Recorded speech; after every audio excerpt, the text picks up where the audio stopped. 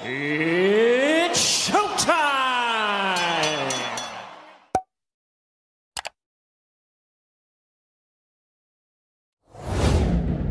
Hey yo, what up, Fight World? It's boy Boxing Fanatic. I'm back with another one.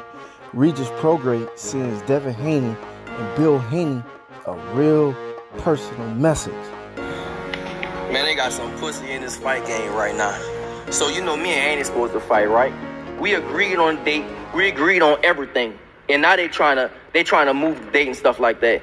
The Haneys, I know y'all smart, but y'all some smart at the same time. Y'all y'all y'all pulling some dirty shit, bro. Y'all trying to pull not dirty. Y'all trying to pull some slick shit, but we ain't going for that.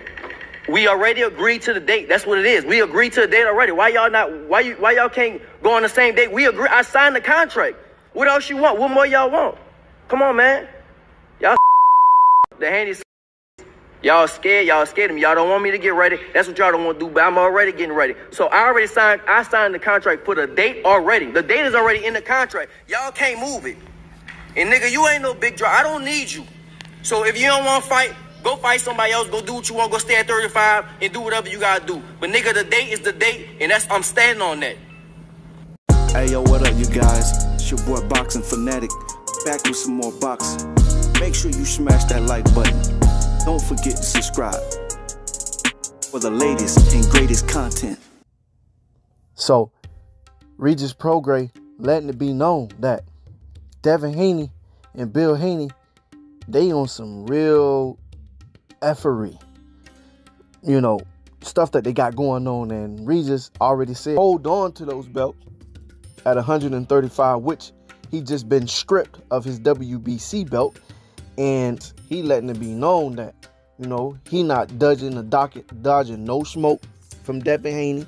He want Devin Haney to sign his portion of the contract and they got to fulfill that portion of the contract because it don't make no sense for Devin not to sign this contract if he's already been stripped of his belt, which, you know, I guess the fight was already agreed upon, and that was Devin Haney. And he said he gonna knock Devin Haney out. And Devin Haney told him that, you know, Shakur Stevenson already outboxed him. So if Shakur Stevenson outboxed him and Regis Prograis didn't look as sharp as he normally do in his last fight. They say you only good as your last fight, which I felt like he tried to come out and do something that was not of him. He tried to box and try to show some kind of boxing abilities, but looked at trash. I don't think he'll be able to do that. Not going to be able to hit him like how he thinking he going to be able to hit him. He said he going to knock him out. Well, hey, you know, the game is get hit and not get hit. I mean, hit and not get hit. So we got to see who gonna play the cat and mouse game. We got to see who gonna be the one landing the punches, and we got to see who gonna be the one not getting hit. I guess right. So Regis Prograis already at 140. Um, he's making a name for himself now. He's signed with Eddie Hearn's, Matchroom, and DAZN. And Devin just left uh, Bob Arum in top rank, and he defeated George Kambosos twice, then defeated uh Vasil Lomachenko. So he beat the man that beat the man that beat the man that beat the man, and he got the belt. That's how he became undisputed.